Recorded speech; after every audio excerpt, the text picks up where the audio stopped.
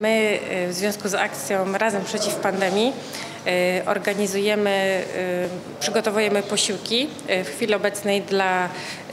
kadry, czyli pracowników szpitala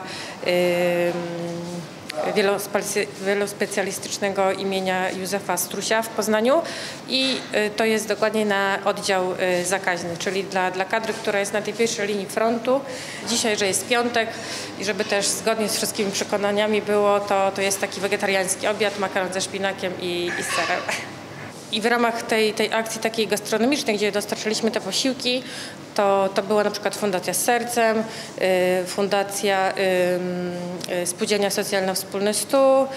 y, Spółdzielnia Socjalna Ruchomości, zwana y, y, Zemsta. I to są podmioty gastronomiczne, które też w trakcie tej pandemii no, mierzyły się z, z wieloma problemami, bo przez pewien czas też wiadomo były restauracje zamknięte, więc można było przygotowywać posiłki y, tylko na, wymio- na- wynos, więc te przedsiębiorstwa też było tym, tym no, bardzo dotknięte. No i my jako fundacja chcieliśmy wesprzeć właśnie mm, te podmioty, ale też te, te osoby, które są właśnie na tej pierwszej linii frontu w walce z pandemią, więc to było takie y, no, dzi- działanie powiedzmy wielo, y, wielostronne.